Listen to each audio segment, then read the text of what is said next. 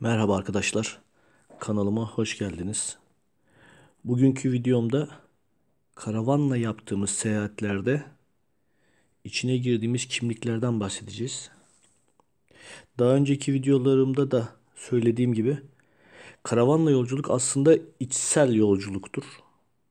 İnsanın kendini tanıması, kendi içine doğru derinleşmesi için çok elverişli ortamlardır.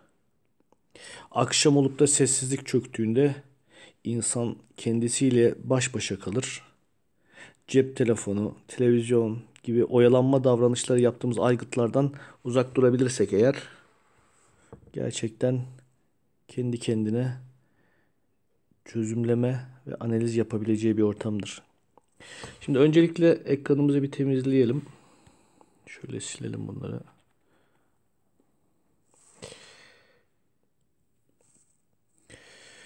Bir önceki videomda optimum denge modeli kitabından bahsetmiş. Girişini incelemiştik. Birkaç sayfasını okumuştuk. İzlemeyenler için sağ üst tarafa linkini ekliyorum. Eğer izlemediyseniz bu videoyu izlemeden önce onu izlerseniz birazdan bahsedeceğim konuları daha iyi anlarsınız. Şimdi başlayalım. Hatırlarsanız optimum denge modelinin en temel modeli doğal sistem ve düzenleyici sistemdi. Şöyle şuraya düzenleyici sistem şöyle aşağıya da doğal sistem demiştik. Kitaptan da hatırlayacağınız gibi. Ee, büyük artı şeklindeki bir modeldi bu. Bunların ikisinin birbirleriyle bağlantıları vardı. Doğal sistem dediğimiz ailemiz, iş yerimiz, yaşadığımız şehir, yaşadığımız ülke ya da kamp attığımız doğa, doğanın kendisiydi. Düzenleyici sistem ise bizim bu doğal sistemi belli bir düzene koyabilmek için oluşturulmuş olan kurallar ya da kişilik olarak kişi olarak baktığımızda ise kişinin kendisinin geliştirdiği kimlikler idi. Bu kimliklerin hepsinin bir araya gelmesiyle de kişilik oluşuyor diyorduk. Şimdi doğal sistem alttaki elips, düzenleyici sistem ise üstteki elips. Bunların ikisi arasında etki tepkiye bağlı olan da iletişim var. Ee, bunu artıya büyük artıya çevireceğimiz vakitte e, doğal sistem düzen ve düzensizlikle alakalı bu dikey ekseni oluşturuyordu. Şöyle burayı da tekrar bir silelim. Şimdi bu dikey eks şöyle dikey eksenimiz burası doğal sistemle ilgili üst tarafı düzensizlik maksimum düzeyde düzensizliğin olduğu yer. Alt taraf ise düzen dediğimiz kısım. Yatay eksen ise düzenleyici sistemle alakalı idi. Ee, şöyle çizersek onu da bunun sağ tarafı uyum sol tarafı ise uyumsuzluk demiştik. Ee, karelerin isimlerini vermek gerekirse düzensizliğe uyum sağlamayla ilgili olan sağ üst köşeye başarı kalesi demiştik. Sağ alt taraftaki düzene uyum sağlamayla ilgili olan kısım burada huzur karesiydi sol alt köşe düzene uyumsuzluk. Burası depresyon karesi demiştik. Depresyon. Ve sol üst köşede e, düzensizliğe uyum sağlama çabası, kontrol etme çabası ama sağlayamama durumu. Yani düzensizliğe uyumsuzluk dediğimiz şeyde kaygı ya da anksiyete karesi diye söylemiştik. Kitapta yazana göre konuşuyoruz. Bu arada Optimum Denge Modeli kitabını eğer okumadıysanız bir kez daha tavsiye ediyorum. Bunlar tamamen Tamar Dövücü hocamın geliştirmiş olduğu Optimum Denge Modeli kitabındaki anlatımlardır. Ee, hepinize Optimum Denge Modeli kitabını okumanızı tavsiye ederim. Orada bu konuyla ilgili çok fazla detay, çok fazla örnek var. Konuyu çok daha iyi kavrarsınız. Şimdi biz buradan devam edelim. Kişinin e, zamanının çoğunu geçirdiği yerse o kişinin zeminini oluşturuyordu. Örnek veriyorum e, bir kişinin e, bir kimlikteki zemini başarı karesinde olabilir. Özür dilerim. İş hayatındaki kimliği mesela başarı karesindedir. Ee, ebeveyn olarak var olan kimliği ise mesela huzur karesinde şurada olabilir. Ya da belki de e, ebeveyn olan kimliği burada kaygı karesinde de olabilir. E, endişeli, e, çok anksiyetede bir kimlik de olabilir. Her biri birbirinden farklı karelerde olabilir. Peki şimdi karavanımız var ya da çadırımız var. Kampçılık yapıyoruz, geziyoruz, bol bol seyahat ediyoruz. Ee, yeri geliyor orman içerisinde, yeri geliyor şehrin içerisinde farklı noktalarda kamplar kuruyoruz. Veya çekme karavanımız var. Bir kamp alanına gidiyoruz ve çekme karavanımızı oraya sabitleyip örneğin bir hafta boyunca orada bir kamp hayatı yaşayabiliyoruz. Bu durumda ruh hallerinde aldığımız yeni kimliklerimiz ortaya çıkıyor. Yani kamp alanı içerisindeki yaşamış olduğumuz ruh durumlarına göre e, kendi kimliklerimiz ortaya çıkabiliyor. Karavancı ya da kampçı gibi bir kimliğe geçme şansımız olabilir. Bu kimliklerin de zeminleri var doğal olarak. E, ama bu zeminler yaşanan tecrübeler ve yaşanan duygu durumları ile bilinç altına atılan x eşittir y kodları ile oluşuyor. Bu cümleyi daha iyi anlamak için lütfen Optimum Denge Modeli kitabını okuyunuz. Orada bu konuyla ilgili çok daha detaylı bir anlatım var. Ee, size kısa yoldan açıklamaya çalışacağım. Ee, bilinç düzeyinde karavancı olmanın ötesinde bilinç altında da bu konunun özümsenmesi gerekir. Yani e, ne kadar çok farklı duygular yaşar, ne kadar çok bunlarla ilgili tecrübeler yaşarsak bilinçaltına da o kadar çok e, hatıra kazanır diyelim. Bu hatıra kazanması durumu işte x eşittir şuraya yazalım şöyle x eşittir y dediğimiz kod atılması durumu. Ne kadar çok bu şekilde kod var ise o kadar çok e, genişliği, zeminin genişliği oluşuyor. Örnek veriyorum x eşittir y kodundan çok fazla varsa başarı karesinde şunu silelim. Başarı karesinde daha büyük bir zemin oluşuyor. Miktarıyla alakalı olarak. Ee, ve yaşadığımız bu duygu durumların x eşittir y kodunu attığımız duygu durumların yoğunluğu, derinliği bu zeminin de bu zeminin de derinliğini oluşturuyor aynı zamanda. Eğer çok yüzeysel şeyler yaşadıysak bu derin olmaz. Çok fazla şey yaşadıysak geniş olabilir ama eğer duygu olarak e, yoğun bir duygu durumu yoksa o zaman derinliği fazla olmayacaktır. E, başka bir deyişle örnek veriyorum karavanımız var ve bu karavanda birkaç geziye çıktıysak eğer bir veya iki karavan turu atmakla ya da bir iki kamp kurmakla e, karavancı kimliği aslında oluşmaz. Siz bilinç düzeyinde karavancıyım deseniz bile aslında bilinç altında karavancı kimliği oluşmaz. Ya da çadır kampına arkadaşınızla beraber gittiniz. Arkadaşınız çadırı kurdu. Siz onunla beraber bir gece geçirdiniz, iki gece geçirdiniz. Ee, buradaki yaşadığınız duygu durumunun miktarına, fazlalığına, e, ve ne kadar yoğun yaşadığınıza bağlı olarak bir kimlik oluşacaktır. Ama bu bir veya iki seferde e, gerçek bir kimlik şeklinde oluşar. Oluşsa bile çok yüzeysel bir kimlik olacaktır.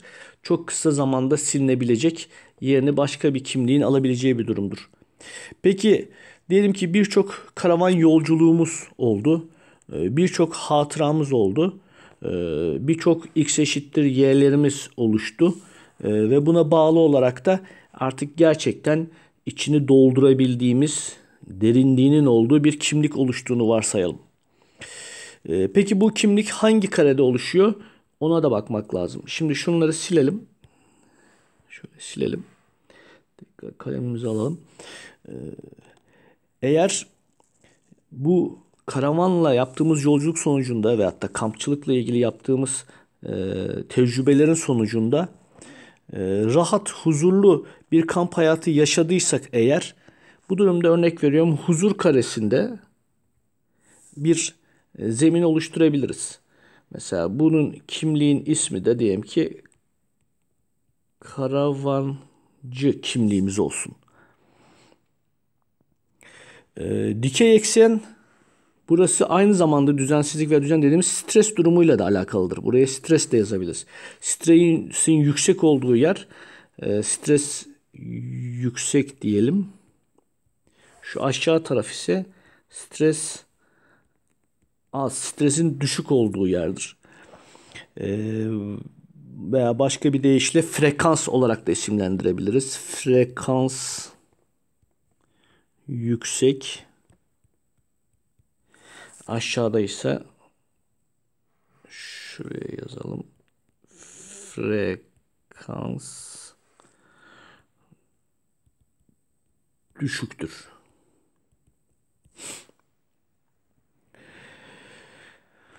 Yukarı doğru çıktıkça frekans artıyor. Diyelim ki yoğun koşuşturmacalı bir iş hayatımız var. Ee, çok yoğun bir şekilde çalışıyoruz. Bu yoğun çalışmada başarı karesinde aslında mücadele ediyoruz. Genelde iş hayatı hep başarı karesi üzerindedir. Çünkü iş hayatı streslidir, zordur ve yoğun bir mücadele gerektirir. Burada çok hızlı ve çok hareketli bir hayatımız var. Ee, ya da büyük şehirde yaşıyoruz. Ee, büyük şehrin hayatı da aynı şekilde çok hızlı ve çok hareketli. büyük şehirlerin frekansı da yüksektir. bu büyük şehire uyum sağlamak için başarı karesindeyiz her zaman. Ama insanın mutlu olabilmesi için biliyorsunuz mutluluğu da Optimum Denge Modeli kitabında Optimum Denge Modeli kitabında şu şekilde göstermişti Taner Hoca. Şu bölge burası mutluluk dediğimiz kısımdı. Bu yatay eksende zaten biliyorsunuz sıfır orijin noktasından başlayarak bilmek, yapmak, yapabilmek ve en sonunda olmaya doğru giden kısımdı. İşte bu da mutluluğun ne olduğunu bilmekten başlayıp mutlu olmak için bir şeyler yaparak daha sonrasında da mutlu olmaya doğru giden kısım gibi düşünebilirsiniz. Şimdi bu durumda e, ne oluyor? Yoğun koşturmacalı iş hayatında, iş hayatımız burasıysa eğer bizim kendimizi dengeleyebilmemiz için huzur karesine de geçmemiz gerekiyor. Başarıyı huzurla dengelememiz gerekiyor ki buradaki mutluluk kısmını yakalayabilelim. Koşturmalı iş hayatının bu tarafında kalırsak eğer hep belki daha da yukarılara doğru savrulma, şu tarafa doğru savrulma ihtimalimiz olacaktır. Ee, ama bunu huzurla dengeleyebilirsek eğer daha fazla yukarı doğru savrulmadan şu mutluluk alanı içerisine girme şansımız olur hafta içi 5 gün boyunca yoğun tempoda çalıştığımızı düşünelim. Bu haftanın yoğunluğunu, stresini atmak için hafta sonu karavan ile bir yerlere kaçmak isteyeceğiz, gideceğiz. Bu bir yerler daha çok doğanın içerisinde sessiz sakin yerler olsun isteriz. Çünkü doğanın frekansı düşüktür. Ormanın sessizliği, suyun sesi bunlar hep düşük frekanstadır. Tam insanın huzurlu ve mutlu olacağı frekanstır bunlar. İnsan doğa ile zaman geçirdikçe, kendisini doğaya bıraktıkça doğaya uyumlanır. Doğaya uyumlandıkça doğanın frekansını e, yakalar. Kendisi de o frekansa geçer. Bu frekansta huzurun olduğu e, frekanstır. İnsan burada huzur bulur ve rahatlar. İnsanın birçok kimliği ve her kimliğinde farklı bölgelerde e, zeminleri var. Şimdi başarıyla ilgili tarafta mesela iş hayatındaki kimliğimiz e, karavancı kimliğimiz huzur tarafında falan olabilir ama bir de aynı zamanda insanın en temel kimliği olan egosu vardır. Egonun oturduğu bir zemin de vardır. Örnek veriyorum eğer şöyle bir yerde bizim egomuz var ise bu durumda kişinin en temel kimliği kaygı karesinde demektir. Kaygı karesinde ise eğer e, belli bir süre huzur karesinde dursa bile kaygı karesine kaymaya meyillidir. E, ama Gene Optimum Denge Modeli kitabında Tanmer hocamın söylediği üzere konuşuyorum. E, çapraz kareler birbirlerini dengelemek için gerekli olan yerlerdir. E, genelde kaygı karesinde bulunan bir kişinin kendisini dengeleyebilmesi adına da huzur karesine geçmesi gerekir. Bu ikisi ancak e, birbirlerini nötralize ederler diyelim. Kendi üç dünyası ile baş başa kalmaktan kaygı karesindeki kişiler korkarlar. Ee, buradaki arkadaşlar buradaki arkadaşlar oyalanma davranışlarına girerek iç seslerini bastırmaya, susturmaya çalışırlar. Aslında bu anlar bulunmaz birer fırsattır. Kendi iç seslerimiz e, başka bir deyişle içimizdeki çocuklar ya da başka bir deyişle içimizdeki farklı kimlikler bunların hepsini konuşması için birer fırsattır bunlar. Yıllardır bastırdığımız, duymak istemediğimiz iç seslerimizi e, onlar ile sohbet edebilmek, e, gözlerimizi kapatıp onları dinleyebilmek e, bizi muhteşem bir farkındalığa götürecektir. Eğer yıllardır bu sesleri bastırmış isek çok karmaşık, çok farklı iç sesler, iç konuşmalar duyabiliriz. Çok karman çorman gelebilir. E, bir çocukluktan, bir bebeklikten, bir orta yaştan her taraftan e, daldan dala atlama diye tabir edebileceğimiz şekilde karmaşık sesler duyacağız. Bunlar düzensiz ve aşırı karmaşık gelebilirler. İşte huzur dediğimiz şey zaten bu düzensizliğe düzen getirmektir.